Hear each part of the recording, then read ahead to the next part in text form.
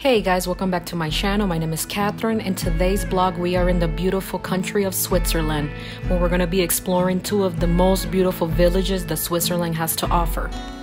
Stay to the end of this video to enjoy some beautiful scenery. Morning guys! So we're here in Switzerland and this is our Airbnb. You can see behind me. Let me turn the camera around. Today is a beautiful day and we're going to be going to the beautiful side of Interlaken here in Switzerland. This is the Airbnb. This is the bedroom. It's a little bit of mess because I didn't make the bed. And we have a kitchen and everything, which is great. Okay, guys, so this is the kitchen. Pretty spa spacious, which is great. And that's the hallway there. And that's our bedroom in there. So I want to talk about um, the like you know being on a budget here in Switzerland. So what we've been doing a lot is that we've been um, just buying food at the grocery store. I'll show you guys real quick here in the fridge. Look at this fridge. It's hidden. So pretty much for all these things that we have here, we paid about uh, 40 euros and it's provided us with breakfast and lunch. And I'm gonna make dinner when we come back. And the reason why we've been doing that is because food here in Switzerland tends to be a little bit ex expensive, like a lot. So we we do plan on going out to eat because I've always liked to show, you know, like options for restaurant. I'm to try to find a budget-friendly restaurant and um, show it to you guys obviously and we're definitely you know to do the fondue thing which technically i heard it can be quite expensive here maybe about 30 euros a person but the reason why I want to do it is because, come on, we're in Switzerland. That's like the homeland for fondue. So we're gonna do the fondue one day, and the rest of the times we're, we're gonna be cooking here, making breakfast. That's a big way to save. Um, yesterday we basically didn't uh, spend hardly any money. We went to that beautiful waterfall as you guys saw, so we didn't spend any money. And I think we went to a restaurant. I didn't record it because I had a very low battery. Um, so I think we got some fries and a meat platter. The fries were uh, about nine euros, and the meat platter, I think Nathaniel uh, took some pictures. If he did, I'll put them up right here. And we got the meat platter. So the meat platter was uh, 19 euros, which is not too bad either. And he had a drink, like a or like a pineapple drink, and that wasn't too expensive either. And we got an ice cream, which was incredible, amazing. I'm not surprised because the milk out here is delicious. And um, yeah, so we all we did uh, that we spent yesterday was just the groceries, which is gonna feed us for the next four days, and then the uh, the dinner that we had last night. That's pretty much it. And we hardly we didn't spend much, just about that. So we're gonna see how we can find ways to save today, and we're going to Interlaken, like I was saying. And from for that, you might want to splurge a little bit because you know taking the gondola all the way to the top to get those views that's gonna be you know like it's not gonna be free so we'll see how much it is and i'm gonna show it to you guys and see how we can save so i can you know so you guys can see how there's a way to save when coming to switzerland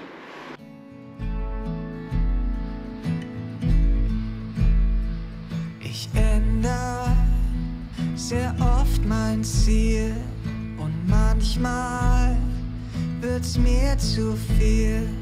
Doch was ich ganz sicher will, bist du.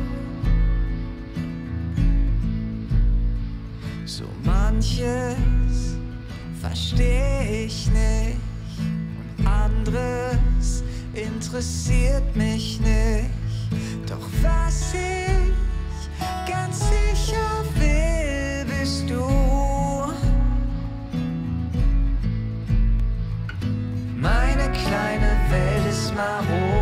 mal blau. Ich mal sie mir jeden Tag neu. Farben kommen und Farben gehen, doch ich weiß ganz genau, dass ich mich jeden Tag aufs Neue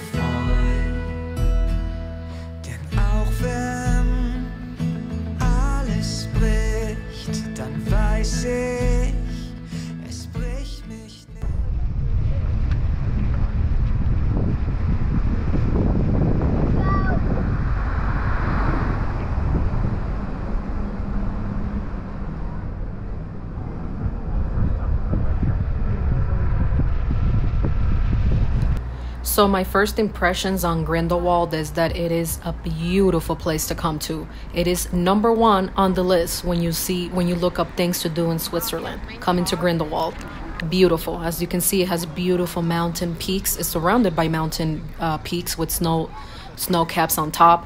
The village is so beautiful. It has a very uh, German influence, and that's because in Switzerland this side the side of uh, interlaken the jungfrau region is very german influenced so you'll see a lot of the houses that look very german and they, there's also a lot of hotels and a lot of people choose to stay in Grindelwald, but it can be quite pricey.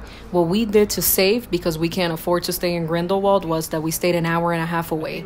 So, you know, we have the car, we were able to drive, and this was good enough for me to see it being here a couple of hours and enjoying the beautiful views that Grindelwald has to offer.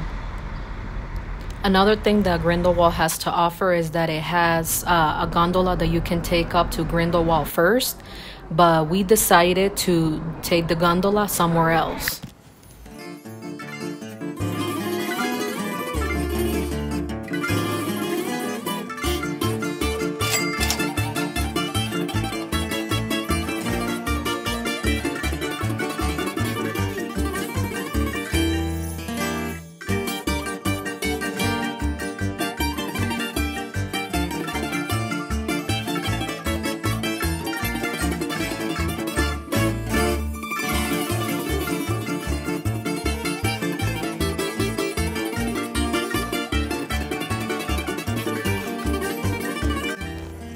So I recorded this uh, chocolate store in Grindelwald because I wanted you guys to see the prices on souvenirs and chocolate. And you can see it's quite affordable. It's nothing crazy.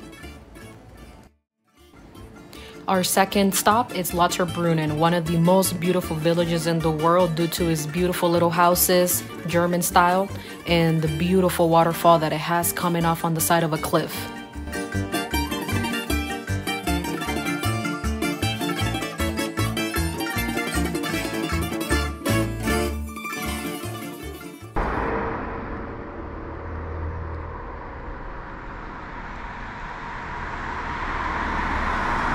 Hey guys, so we are in Lauterbrunnen as you can see the waterfalls. This place is very famous for having a beautiful little village and you can see the waterfalls from the village. It's very pretty. Um, so we decided to stop first in Grindelwald and then make our way down to uh, Lauterbrunnen. I don't know if I'm pronouncing that right. And in Interlaken, we're gonna go to Harder Kulm to be able to go up in the gondola we were gonna do that in Grindelwald, but I decided that we had to pick one. Either Grindelwald first, where you take the gondola, or in Harder Kulm, which is an Interlaken. Harder Kulm looks way more beautiful to me, just my opinion. It looks so beautiful. Both are beautiful, but to me, the harder Haderkulm just was from the pictures that I saw, I had a beautiful blue lake and that is something so extraordinary and I really want to see that. So that's what we're going to do. So right now we're gonna record, do a little drone footage here in um, Lauterbrunnen, and then we'll continue our way into Harder Kulm and Harder Kulm, some hard names, and in Interlaken, and then take the gondola there and catch beautiful sights. So beautiful over here, guys.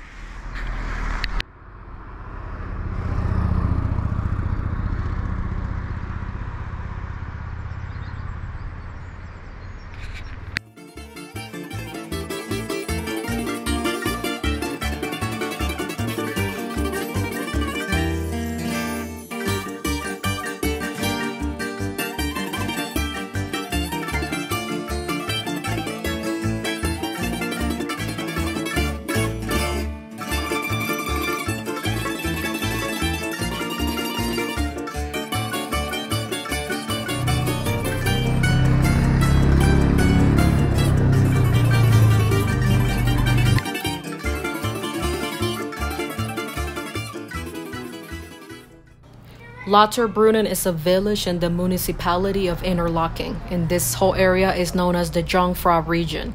And Lauterbrunnen is known for its beautiful cliff waterfalls, beautiful mountain peaks, and a lot of people choose to stay here overnight, but it does come with a price tag because it is one of the most beautiful villages that you will see in Switzerland.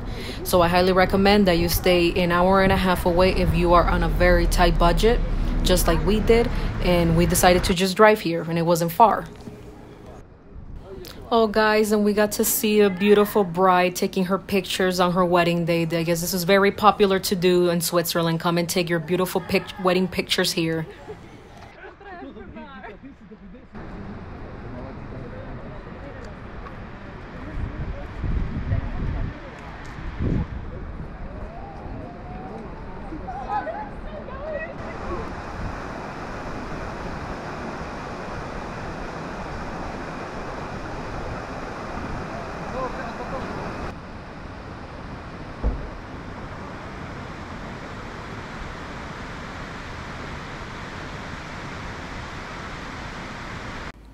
So I wanted to record for you guys um, a budget-friendly place that you can get something to eat in Lauterbrunnen. As you can see, the price tag, it looks very cheap for a lot of stuff. For yogurt, no more than 260. Uh, for the cheeses, it was a lot cheaper. Five euros. Th there was a lot of stuff, even for fondue. If you want to do fondue, 10. Actually, these are 10 francs. I didn't do the conversion because in francs, it's very similar to in dollars. So the only money we spent today was on a coffee, $6, and for lunch, $10.